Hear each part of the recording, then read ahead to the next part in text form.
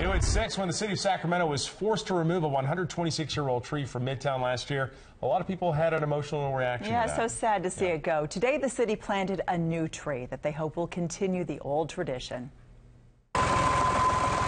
Rick Stevenson looks on as Sacramento City workers plant a new tree at 18th and Capitol, the same spot where in 1886 his grandfather, George H.P. Lichthart, planted a camphor tree in front of the family grocery store.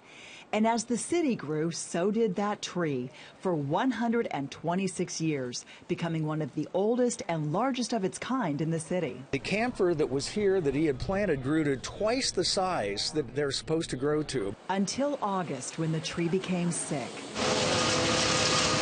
and had to come down.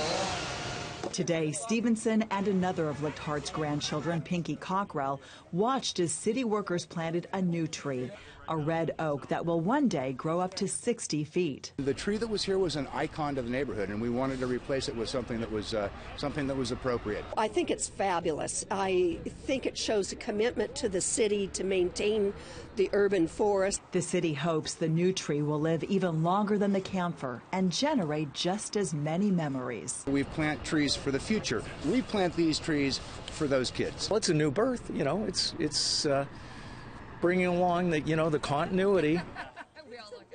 I like that. Hopefully, coming up this spring, we'll see it sprouting the fresh green leaves Yeah. and actually already providing a little bit of shade. The original tree was planted in honor of the birth of Lichthart's sister. The new tree paid for by the city.